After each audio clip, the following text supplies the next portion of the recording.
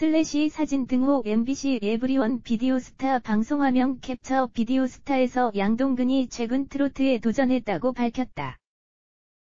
20일 오후 방송된 MBC 에브리원 비디오스타에서 양동근, 세모칠이, 로빈 데이아나, 진주형, 김종석이 게스트로 출연했다. 이날 방송에서 양동근은 해외 진출과 정치를 한다는 설에 대해 해명했다. 그는 부록이 되니까 제가 이전에는 하지 못했던 일들을 해보고 싶더라고요. 어떻게 하다 보니 그런 말을 했네요 라고 밝혔다. 또 그는 가족들을 위해 힙합을 내려놓았다고 말했다.